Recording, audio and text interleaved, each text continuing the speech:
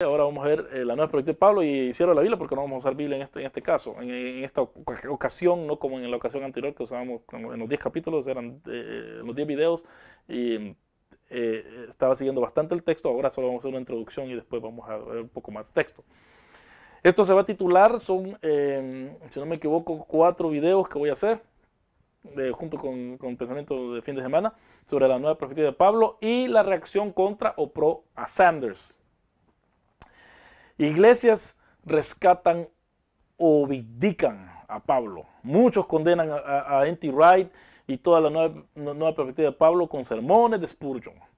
Muchos toman a unos más recientes como a, como a Don Carson o Piper para, para refutar a, a, N.T. Wright, a E.P. Sanders, a, cualquiera de, los, de los promotores. Don Garlington, que nunca, lo, nunca, nunca lo menciono, pero es uno de los, de, los que proponen la nueva de Pablo, a, Ken Jinger, que es el escritor del libro del cual estoy sacando estos estudios, eh, a Luis Jovel, en este sentido, porque soy uno de los pocos que, que, está eh, promoviendo la nueva de Pablo en Latinoamérica.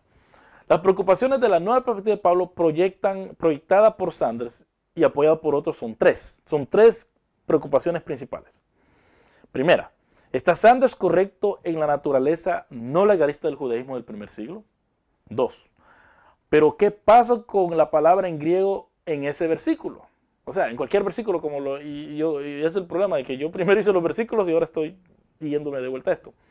Hay una preocupación con respecto a la interpretación de versos específicos o pasajes. Y finalmente, preocupación sobre teología, historia de la iglesia y ministerio. Y ministerio, me acuerdo que cuando yo estaba en el seminario en el 98, eh, fue la primera vez que yo oí de la nueva, perspectiva, de Pablo y fue cuando yo fui confrontado por un libro, que después voy a hablar acerca de eso en el próximo, eh, escrito por un anglicano allá en, en Moore College en Sydney, que escribió su maestría en teología, su tesis, refutando la nueva, perspectiva, de Pablo porque era dañina al ministerio. Yo leí parte de eso, lo leí bastante, y no lo encontré mal, no lo encontré todas las objeciones que él hacía, yo, yo, yo no, no había leído a N.T. Wright, no había leído a nadie. Yo dije, este hombre, ¿qué, ¿qué, está hablando? Y eso fue lo que me llevó a leer más de N.T. Wright. Pero en fin, en esta ocasión vamos a hablar del primer, eh, eh, la primera preocupación que es, eh, ¿era el judaísmo del primer siglo lleno de gracia y no legalista? Si, las energías de, si los enemigos de Pablo en realidad pensaron que tenían que acumular mérito para ser salvos, o sea, que el legalismo, entonces la nueva perspectiva de Pablo ha desperdiciado su tiempo y la propuesta de Sanders es errónea.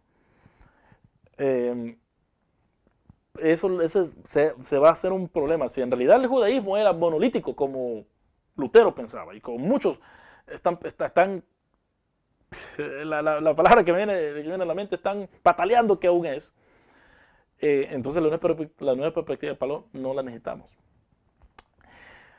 Jacob Neusner, un judío académico, fue el primero en criticar el libro de Sanders.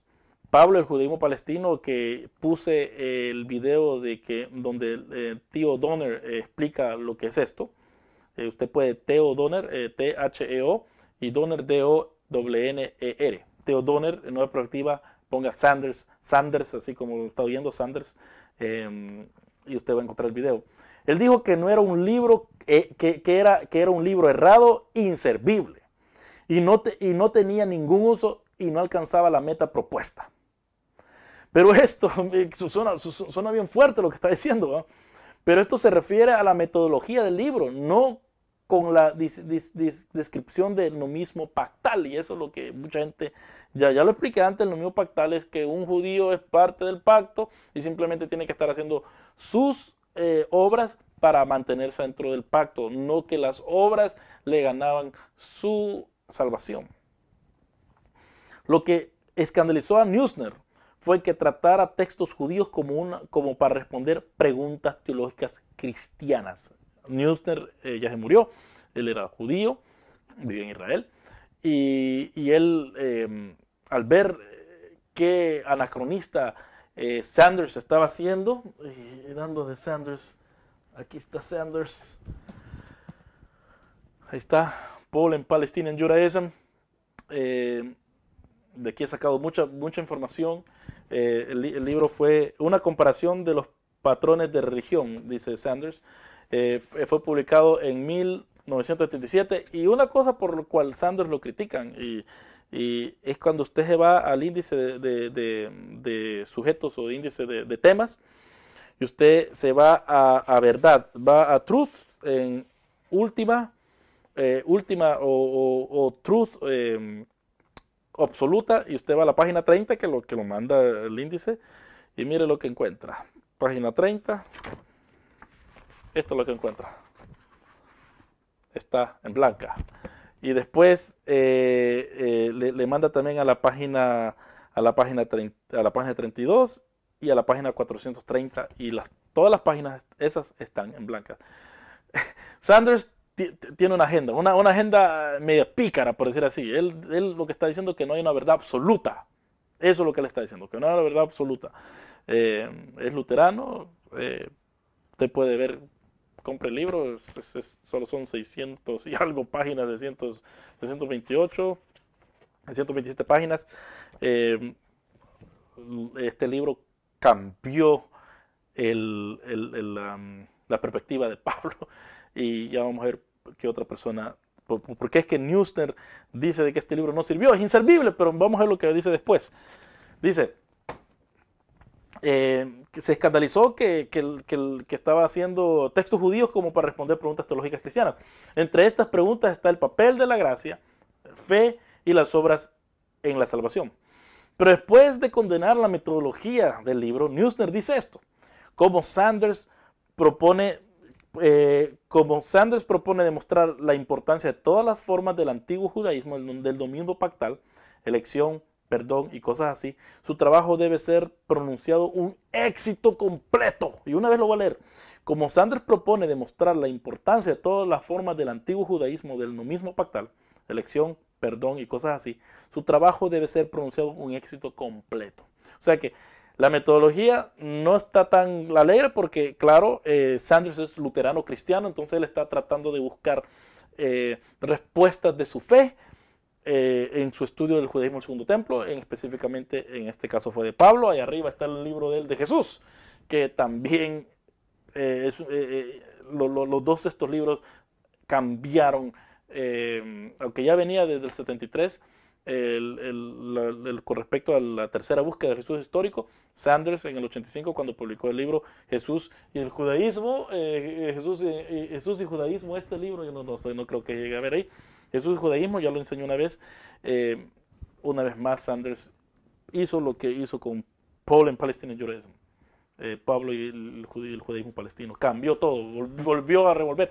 Y es una cosa que, nos tiene que llamar la atención a nosotros como, como cristianos, eh, a muchos gentiles eh, que están muy fascinados con el judaísmo por X razón, eh, que cómo es que gentiles, luteranos o anglicanos o metodistas en el caso de Dan, eh, por darle ejemplos, son respetados por otros judíos que también son eruditos y aprenden de ellos mismos y llegan a saber más de la religión judaica en los tiempos de Jesús que muchos judíos el día de hoy.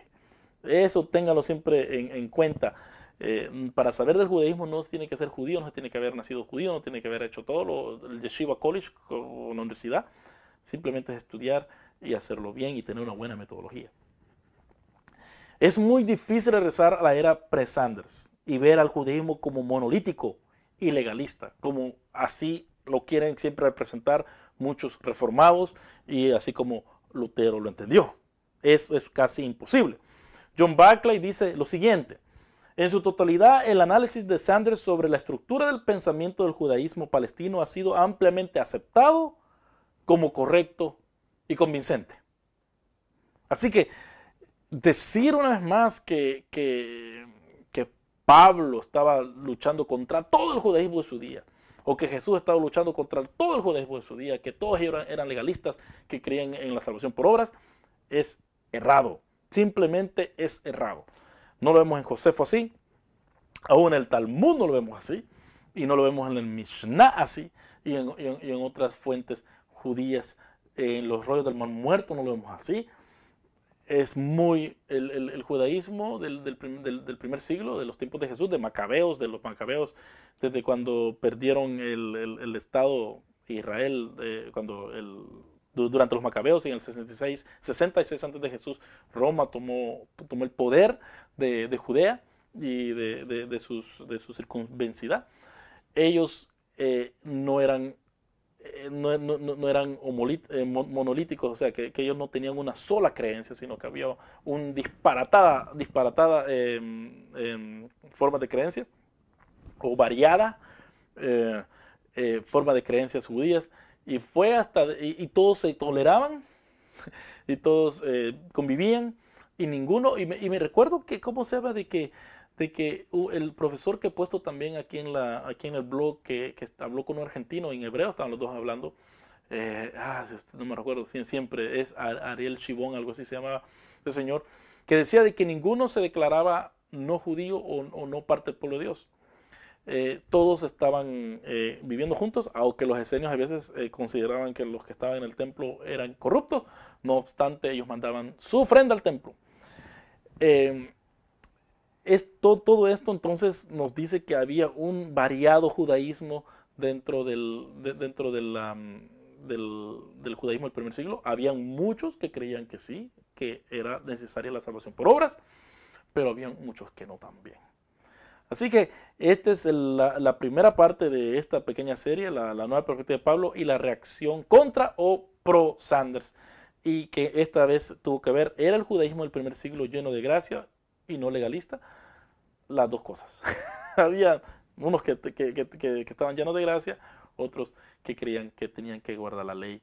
Eh, Pablo era uno de ellos, que por eso que perseguía a la iglesia, porque miraba a los judíos que, habían aceptado a Jesús como el Mesías, como apóstatas, y los fariseos, como he dicho antes, ellos creían de que, de que Israel solo, y aún el día de hoy yo lo he oído en, medio de los, Lubavitch, Lubavitch, eh, la secta Lubavitch y otros, los Hasidim, el judío Hasidim, eh, que ellos creen que si Israel, todo y la diáspora guardan la, la, Torá por un día, el Mesías viene. O sea que eh, eh, es, es, eso es lo que ellos han creído, parte del judaísmo ha creído, por eso dije, cierto, los Hasidim y los Lubavitch y estas sectas muy, muy, muy, ortodoxas, ultra ortodoxas a veces, eso es lo que creen, también dentro del judaísmo ah, del primer siglo algunos creían eso. Así que, que tenemos que tomar la nueva perspectiva de Pablo este es un hecho, mis hermanos eh, reformados, aquellos que aún siguen diciendo que esto no es así, es un hecho. No pueden, no pueden irse al tiempo antes de, este hombre. Lo siento mucho, no, es imposible regresar ya. Eh, damos gracias por ello, por, la información que nos da, pero también eh, nos hace reflexionar y reflexionar la reforma. Y ya cuando hablemos de las cosas teológicas, vamos a hablar de la reforma, si, si en realidad la nueva perspectiva de Pablo tira la reforma a la basura o simplemente la trata de poner en su contexto histórico.